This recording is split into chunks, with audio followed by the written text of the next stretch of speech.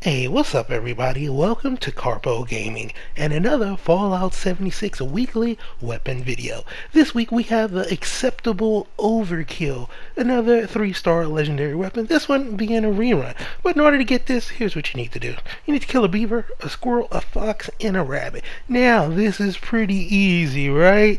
Pretty easy. I actually already covered this in another video. So yeah, I actually already got this. So right about now, you should see something pop up on the screen.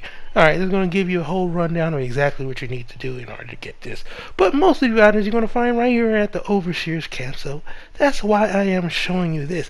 Now, this weapon is pretty much scripted. It's not a great weapon at all. But there is a guy, like I said, and you know, just go ahead and check that out. I already posted a, a video on that. So yeah, that's pretty much to be it for this video. As always, if you are new to the channel, welcome. Don't forget to subscribe. And if you want to help out the channel video, you can do so by liking the video if you indeed like the video.